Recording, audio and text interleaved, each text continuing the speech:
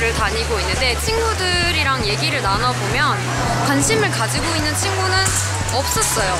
제 대, 대학 주변뿐만 아니라 실제 거리에 나와서 편집분들이 이야기를 나눠보려고 합니다. 신오쿠보라는 일본의 한 거리에 와 있습니다. 한국에서 볼 수 있는 어, 브랜드의 상표들이 굉장히 많이 있습니다.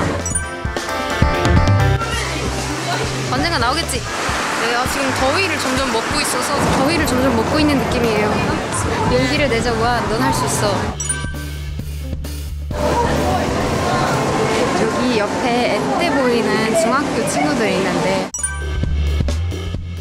じゃあそのままでいいですそのままで今日は何に何をしに来ましたか友達と買い物をあー知能久保 って結構あの韓国の乾パンとかいろいろ食べ物とか売ってるじゃないですか好きなものありますかほら好き私も好きです、うん、でそういう韓国の文化も知ってる方がどう思ってるのか気になりますけどわかんないけど、うんこう仲良くしてうんうんそうですよね안녕하세요ああの新大久保はシュッツ行ったり来たりします 初めてあ初めてですかああの韓国の食べ物好きですかあんまり食べないのあそうです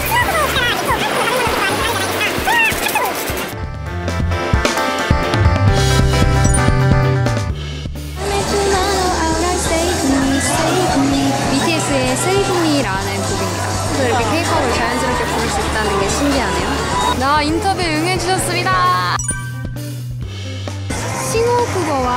来てますか？いやいや名古屋から名古屋から来たんですか？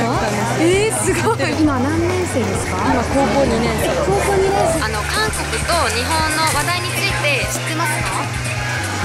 なんとなくしか知らないああなんか韓国人たちがまあ日本のものを買わないって言ってたり日本に行かないって言ってたり言うじゃないですか。それについてなんであんなに怒ってるんだろうっていう。そんな感じあそんな感じですか？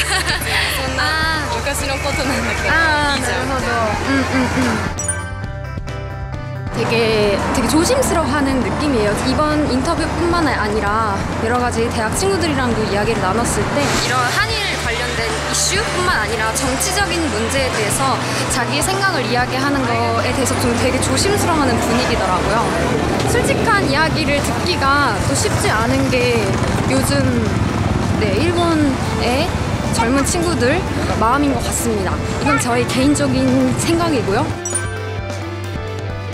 오늘은 여기서 마치도록 하겠습니다. 지금까지 어, 유튜버 우아한이었고요.